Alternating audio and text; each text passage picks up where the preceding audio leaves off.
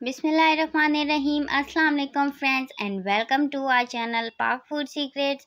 Friends, आज हम बहुत ही मज़ेदार रेसिपी लेकर आए हैं और आज हम जो बनाने जा रहे हैं वो है जी दम मसाला गोश्त। ये बहुत स्पेशल रेसिपी है।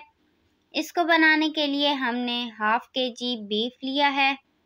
आप चाहें तो मटन भी ले सकते हैं। अब हम इसमें वन कप दही ऐड करेंगे। दही ऐड करने के बाद स्पाइसेस पाँच अदद क्रश किए हुए बादाम, एक चाय का चम्मच कटा हुआ नारियल, एक चाय का चम्मच खिशखाश जिसे धोकर अच्छी तरह साफ़ कर लिया था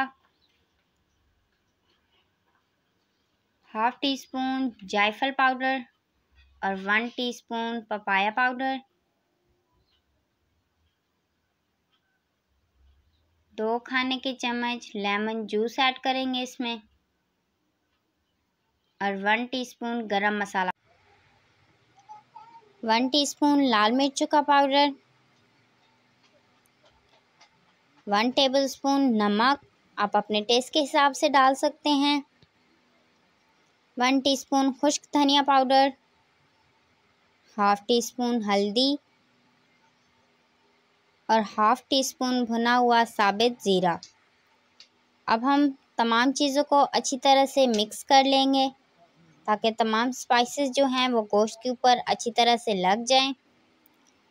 मिक्स करने के लिए आप हाथ का भी इस्तेमाल कर सकते हैं।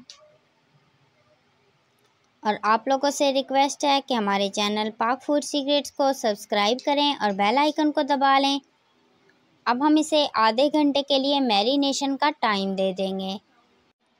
एक खाने के चम्मच, इसमें अदरक लहसुन का पेस्ट ऐड कर देंगे और इसे भी अच्छी तरह इसमें मिक्स कर देंगे।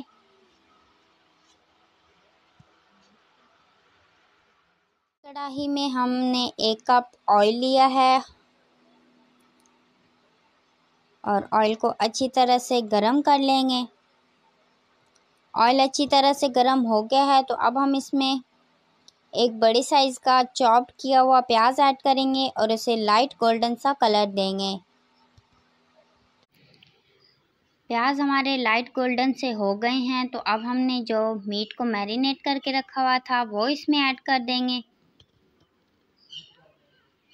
और इसको अच्छी तरह से इसमें मिक्स कर लेंगे। मेहमानों के आने से पहले मीट को मैरिनेट करके रख दें। जैसे ही मेहमान आते हैं, हल्के से प्याज को लाइट गोल्डन कर दें और ये मसाला इसमें ऐड कर देंगे तो आपका मज़ेदार सा दम मसाला गोश्त बनकर रेडी हो जाएगा। अब हम इस मसाले के साथ इसको 10 से 15 मिनट के लिए अच्छी तरह से भून लेंगे, ताकि तमाम मसाले इसमें अच्छी तरह से पक जाएँ। मसाले की अच्छी तरह से भुनाई हो चुकी है और इसका ऑयल भी सेपरेट हो गया है। तो अब हम इसमें पानी ऐड कर देंगे और इसे पाँच से सात मिनट के लिए दम पर छोड़ देंगे। गोश्त को दम पर रखे हुए थोड़ा टाइम हो गया है तो अब हम इसे चेक कर लेंगे। आप लोग देख सकते हैं कि इसका पानी भी खुश्क हो गया है और गोश्त भी अच्छी तरह से गल चुका है तो अब हम इसे सर्व कर लेंगे। फ्रेंड्स हमारा मज़ेदार सा बहुत ही स्पेशल दम मसाला गोश्त बनकर रेडी हो गया है। आप इसकी फ़ाइनल लुक देख सकते हैं। आई होप ये आप लोगों को बहुत पसंद आएगा तो आप इसे ज़रूर ट्राई कीजिएगा। और हमारी इस वीडियो को लाइक शेयर करें और कमेंट करके हमें ज़रूर बताइएगा। और हमें इजाज़त दें। अल्लाह हाफिज़।